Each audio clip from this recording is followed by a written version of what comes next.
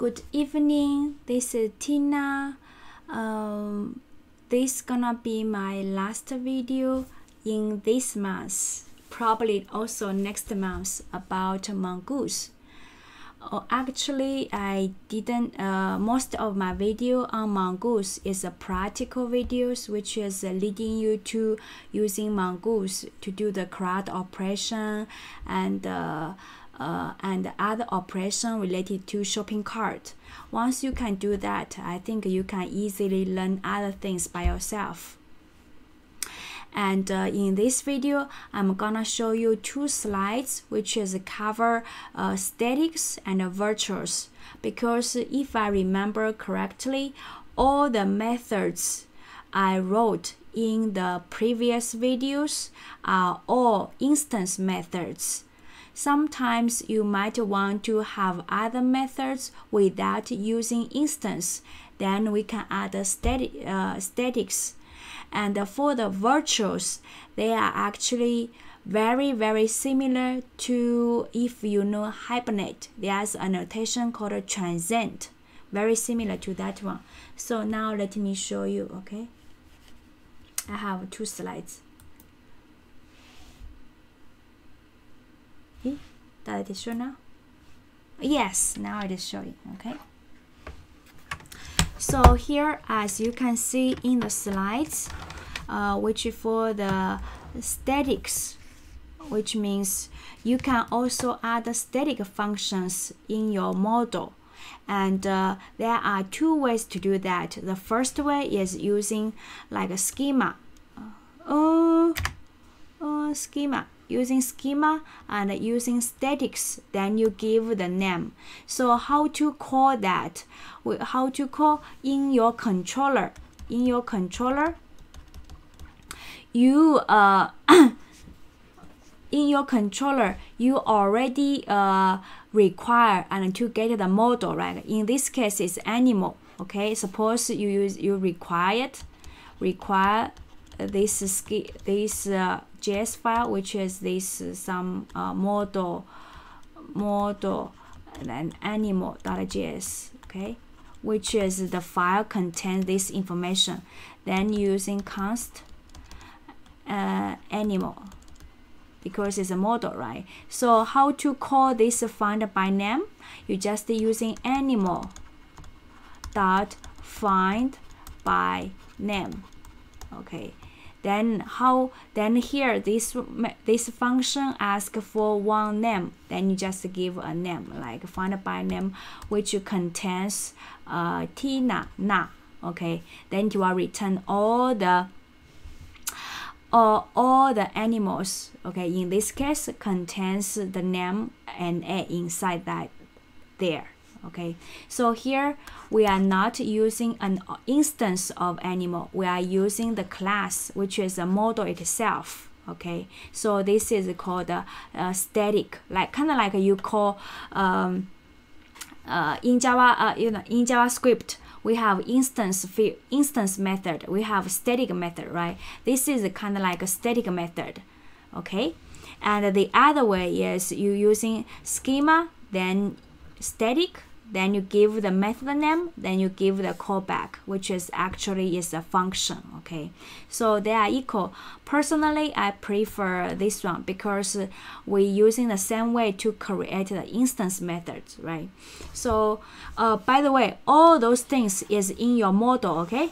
Those things here is in the model, okay? Your model.js file, okay? Your controller is just to use this method in your controller. So this is statics. Uh, next one is virtuals.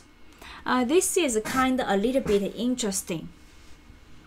Suppose in your uh, document, uh, in this one is a user, user collection, users collection. We have um, lots of document, right?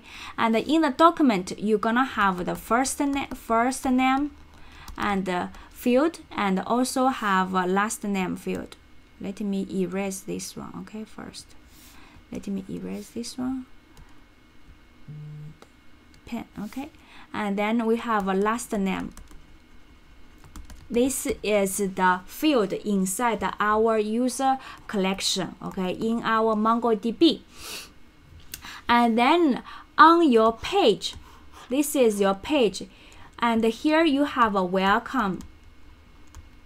And for this welcome, you have a combination which is the first name and the semicolon, uh, no, no, comma and the last name. This is a combination.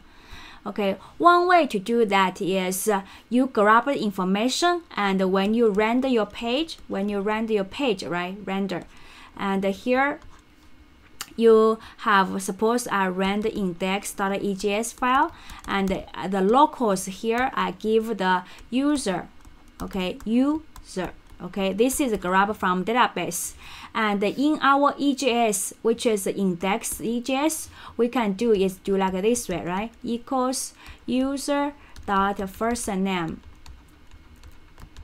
right? Like this one. And then we write a comma. Then we write equals user dot uh, last name. In this case, it match to our format here, right? And have a comma. So we have to write like this way okay and another way is to using virtual okay virtual are the document properties then you can get and set but you do not have to persist into a database okay so here we have the virtual which is the name. This name attribute let me change it to another color. Uh, let me using another color this color okay. This name attribute it won't be persisted into your database. You only has a first name last name. Name is transient to your database. But uh, in your uh, template you can still using get and set method so for the for the same requirement, if we have this virtual in our model, what we can do is after welcome here, we can just write like this equal user dot name. Okay, because user dot name when we this syntax here is actually to retrieve the name value, right? When retrieve, then you can use it, it will call the get. The get will come combine based on last name and first name. And if you want the first name first, you just change it here. You, there's no need to change on the UI. And suppose later on you don't using comma, you're using double column, you just change it here. Change it in your virtual. Okay. And the virtual you can continue using a set. Okay. You can also have a set to do something related to the last name and the first name, which here you give a callback function also okay. And uh, that's the uh, last two uh, things I want to introduce in Mongoose. And uh, there are other things actually in Mongoose. I hope you can look at Mongoose uh, documentation by yourself.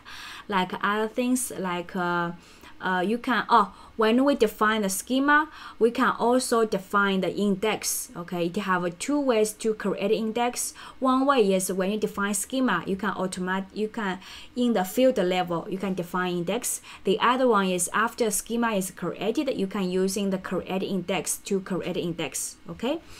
And uh, there are other things is like uh, oh it has also some uh, pre methods if you are interested take a look at it by yourself. Sorry okay? I can i don't have time to cover uh, this block okay? And sorry this month okay? If i have time i will uh, record more videos and uh, insert into this playlist. Okay thank you for your understanding and uh, uh, thank you for watching my video. Uh, i hope you enjoy learning Mongoose, Node.js, Express, MongoDB. Okay, and see you next time. Good night. Bye bye.